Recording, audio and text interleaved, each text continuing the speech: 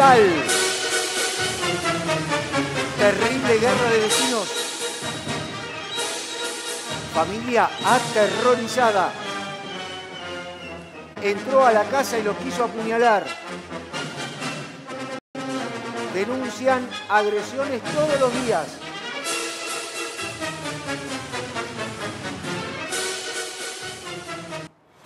Estamos viendo las imágenes. Esto es lo que sucedió. ¿sí? Estamos en vivo y en directo en el lugar. Jessy, estás en vivo y en directo en el lugar. La imagen es contundente. Esto es de noche. Esto es lo que sucedió. Guerra de vecinos. Entró a la casa y los quiso apuñalar. Jessy, estamos en vivo y en directo. Tuyo.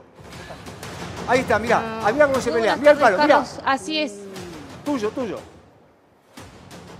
Estamos eh, ubicados en la zona sur de la provincia de Buenos Aires justamente por una guerra entre vecinos. Hay una persona violenta que acá acusan la, la mayoría de los vecinos con los que hablamos llamado Uriel. Esta persona se encarga de hostigarlos, de amenazarlos, incluso hasta ha llegado a golpear a gente acá.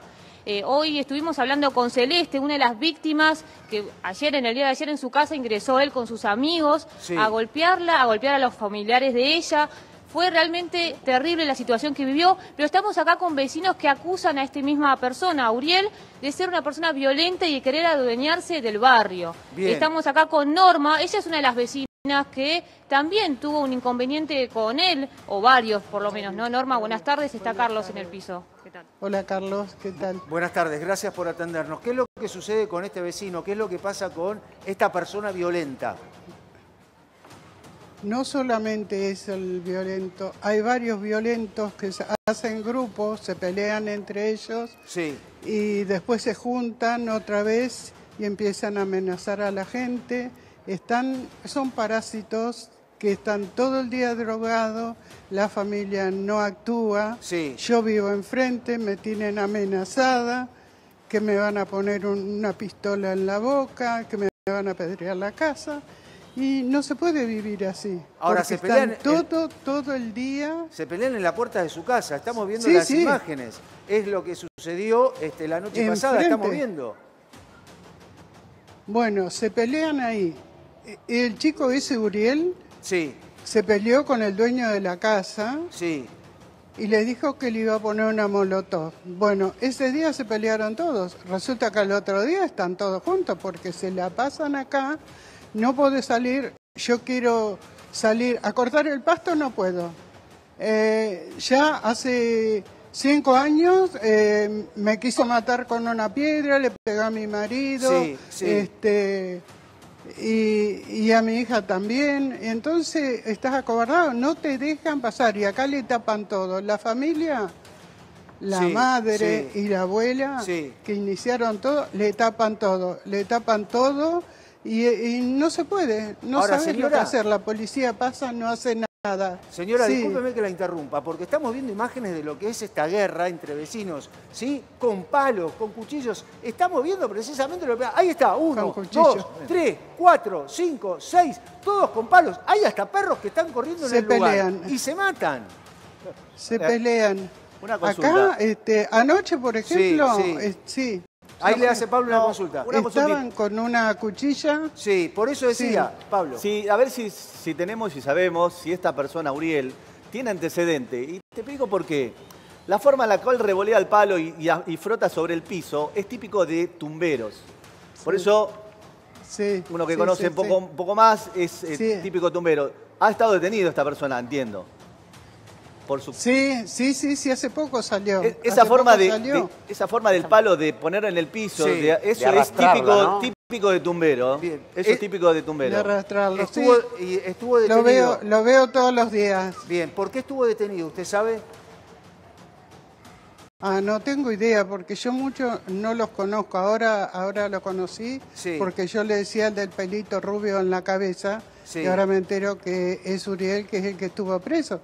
Pero se pelean entre ellos y al otro día están todos juntos. Por Bien. la información que tenemos, Carlos, él estuvo, estuvo detenido eh, cinco años, según por lo que dijeron varios vecinos, por haber tenido un conflicto con un policía, no sé si tuvo algún tipo de enfrentamiento, eh, por lo cual estuvo justamente detenido cinco años Sí. y recién, por lo que también nos habían mencionado, dos meses, o sea, hace dos meses exactamente fue liberado y empezaron a haber más problemas Bien. en el barrio. Bien, Fede, quiere sí, hacer una pregunta. Ahí Sí, voy, señora. problema es ¿Cuál es- terrible. Ahí le quiere hacer una pregunta a Fede. ¿Cuál es el origen del conflicto entre estos vecinos? ¿Hay alguna fecha puntual, algo puntual que usted diga acá empezó todo?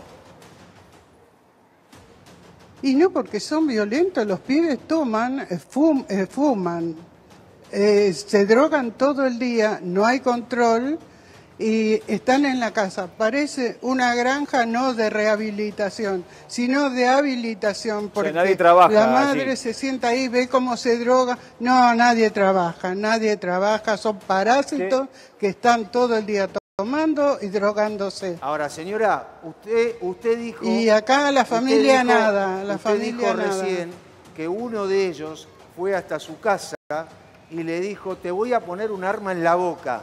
¿Qué fue lo que sucedió? Sí, ya está. Porque la gente eh, llama al 911, pero nadie dice nada. Y como soy yo la que vivo enfrente y molestan, salgo, le digo, pueden bajar la música o pueden dejar de jugar a la pelota, porque no te dejan dormir a ninguna hora. Eso- A, a la tarde, a la noche, a cualquier hora. Entonces dice, la vieja de enfrente le voy a poner la, la pistola en la boca y me querían apedrear la casa, todo. Sí, Pero sí. no es la primera vez que amenaza. Tiene dos denuncias penales, Sí. porque ahora la tuve que hacer. Sí. Anoche yo los veía ahí, este, sacando filo a la cuchilla y revoleándola, como dice usted, que, que hace para todos lados. Y toman y toman y uno no saben cómo van a reaccionar. Bien, Mati. Porque es Eh, así. Todo el mundo lo ve. Todo el mundo lo ve. ¿Qué tal, señora? Muy buenas tardes. Le habla No sé Matías. si alguien quiere Sí, hablar. sí, no, ahora, Hola. ahora hablamos con más Hola, vecinos, Matías. pero Mati le quiere hacer una pregunta, Mati. Eh, justamente, ¿qué dice la policía cada vez que ustedes la llaman eh, para frente a estas situaciones que a ustedes no nos dejan vivir en paz? Pasan de largo y los saludan. Ah, bueno. O sea que la policía no hace absolutamente nada. No hace nada. Uno dice, están... eh, No, porque lo primero que te contestan es, ¿están con la música adentro? ¿Están afuera? ¿O qué? No. Y nunca te solucionan nada. Nunca solucionan nada.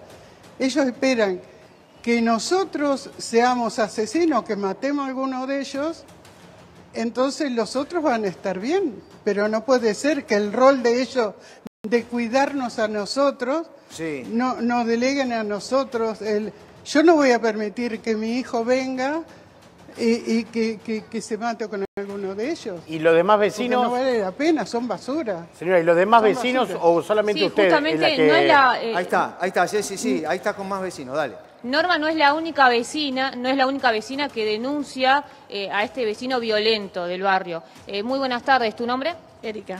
Erika, bueno, te conecto, permiso, por este lado voy. Perdón, Bien, la sí, desconectividad.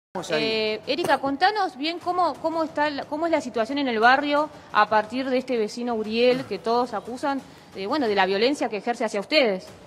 Buenas tardes. Eh, Buenas yo tardes, no lo conozco a este chico, pero sí es de todo el grupo.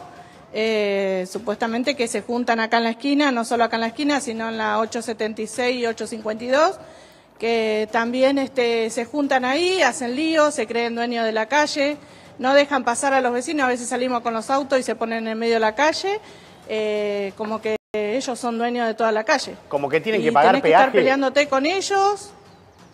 No, no sé qué se creen, o sea, como que se paran ahí y vos tenés que pasar despacito o si no esperar hasta que ellos se dignen a que te dejen pasar. Ahora, y E- me Erika- parece que no es así. Erika, Fede, quería hacer una pregunta. Sí, buenas tardes, Sí. Erika. Eh, a ver, es una pregunta complicada la que te voy Buenas a hacer. tardes. Eh, a la señora hace minutos dijo que ahí consumen droga, pero ¿hay eh, posibilidades que en ese lugar también se venda droga? Y es toda la cuadra, o sea, estamos cansados de que están ahí, que se juntan en las esquinas. Sí. Es, eh, acá estamos en la 852 y 875. Eh, y bueno, en la 876 y en la 852 también se juntan ahí. Sí, a veces sí, de pasada se, sí. se ve que se están cambiando cosas. Eh, llamamos a la policía y la policía viene y pasa de largo, o si no, eh, cuando ellos se van, ahí recién este, aparece la policía. Ahora, señora- Entonces, como que está todo arreglado. La policía, como que pasa de largo. Señora, Hace, la otra vecina eh, habló con respecto sí. a que le pusieron o le amenazaron con ponerle una pistola en la boca. ¿Usted fue amenazada? No, no, no, no, yo no, yo no, eh, no, no tuve problema. Solamente que yo digo, porque ellos se creen dueños de la calle y se ponen Sí. así en las esquinas, Sí. eh, vienen con las motos, hacen ruido a cualquier hora, sea a la madrugada, a la noche, a cualquier hora, molestan con las motos, a- empiezan a hacer willy. Llamamos a la policía y la policía nada, no hace nada, estamos desprotegidos. Eh, la verdad que es una vergüenza para la policía de acá de esta zona que no hace nada. Es como que está arreglado con ellos, Bien, con todos ahora, los que, a los estaba- que venden droga, estaba- a los que se consumen y todo. Discúlpeme que la interrumpa. Esto es lo que sucede. Esta imagen del medio, sí. Sí. Lo que sucede. Esta es una noche en el barrio. Así se pasa una noche en el barrio. Fíjate, una, dos, ¿sí? Una de las personas ya tiene un palo en la mano y dijo, ahora nos vamos a pelear.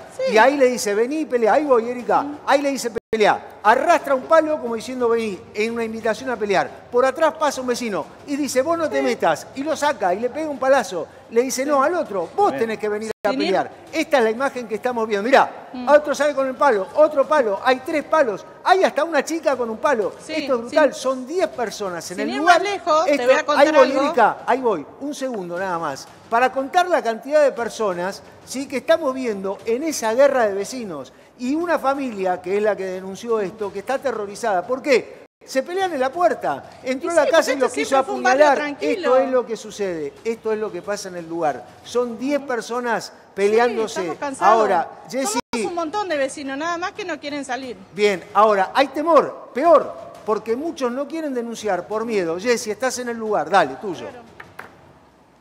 Sí, la verdad que son muchos los vecinos los cuales están atemorizados y no quieren hablar por miedo. Sí. Incluso una es la víctima de esta, de esta persecución, vamos a decirlo, con este machete que él pasa dura- en el asfalto, tal cual estabas mencionándolo. La familia justamente de Celeste no quiere salir a hablar después de que habló hoy, más temprano, por miedo. Ella tiene miedo de que le pase algo. Pero están, hay más vecinos acá, Bien, eh, justamente que también están en la misma situación. Sí, dame un segundo nada más, que son vecinos que están en la misma situación. Un segundo nada más, estamos viendo lo que sucede, denuncian agresiones todos los días. Esta es la pelea. A la noche, el barrio es esto. Esto es lo que sucede en un barrio, en la calle de un barrio. Hay familias aterrorizadas, se pelean, guerra de vecinos, se pelean entre